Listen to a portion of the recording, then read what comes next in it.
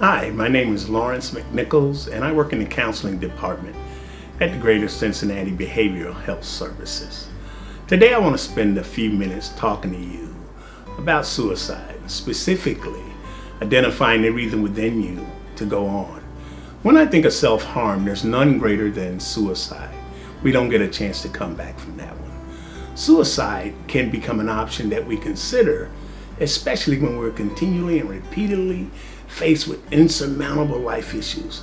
Many problems begin for us as children and they're compiled over time. These can be marital, having troubles with our partners, not being able to accomplish our life goals, maybe due to financial issues, or even having our health fail us. It can even be not living up to the expectations that others have for us. Friends, I, want, I, I don't want to minimize or simplify these issues, but you can overcome them. More often than not, it's our perspective that causes these problems.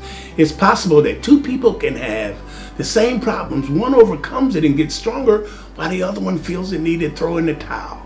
If you're affected by any of these, I recommend that you find a mental health professional to speak to that can provide a non judgmental environment for you.